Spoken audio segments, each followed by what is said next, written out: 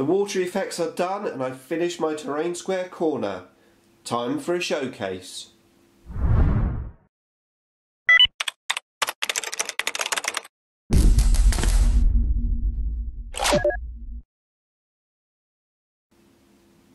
Nick speaking and welcome to this video. Right, the terrain square corner piece that I'm doing uh, to run alongside the uh, terrain square competition is finished.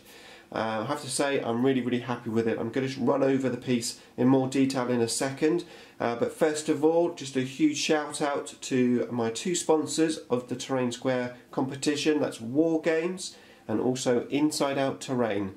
Uh, please check out the links in the description below if you haven't done so already. Right okay so uh, yeah, the water effects was all that was left to do, and as you can see, uh, they've gone down pretty well. Um, now I'm going to take the camera off the tripod in a second and uh, have a closer look, uh, but first of all, just to let you know that I've made um, a sort of tutorial video of me actually making the water effects. Uh, not everything went um, completely smoothly, um, but um, nothing too disastrous. So what I'm going to do is I'm going to leave uh, that video for you to check out if you want to find out more details about how the water effects actually went. Um, but yeah, let's have a closer look at them. Right, so I'm just going freehand, so apologies for too much shakiness. Uh, but yeah, let's just uh, have a, a, closer look.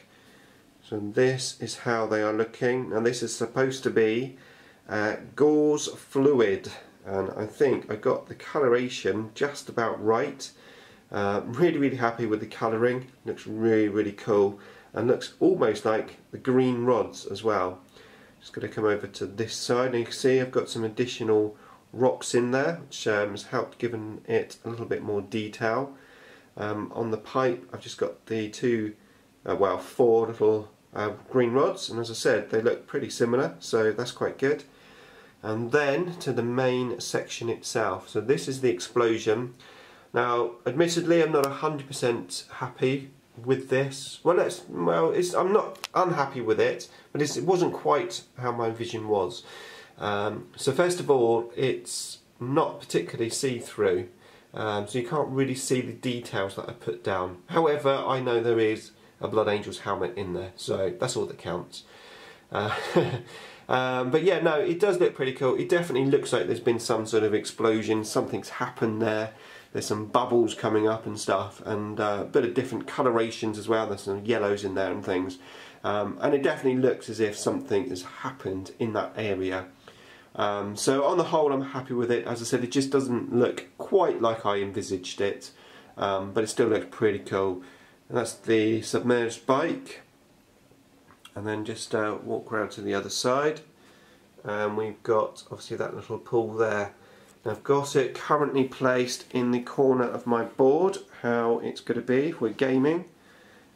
It's pretty cool and I think it takes up a good amount of the board that people will actually use it. Just going to walk around the other side so you can see the back. And that is how it's looking if you were playing this end. Pretty cool. There you go.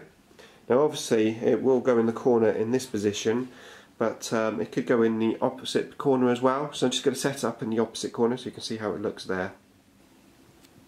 Right there you go so that is another way to play the piece and that was one reason why I put the pipes sort of on both sides so if you had it at this sort of angle you still have somewhere to hide behind and also if you had it in this sort of angle again you've got more people you know things to hide behind so yeah that's the piece so I really, really hope you like it.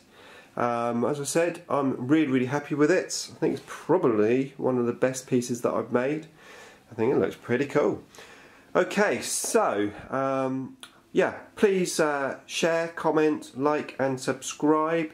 Uh, please hit that bell button right next to the subscribe button so you can keep up to date with the wonders of Warhammer 40k and uh, I shall see you in the next video.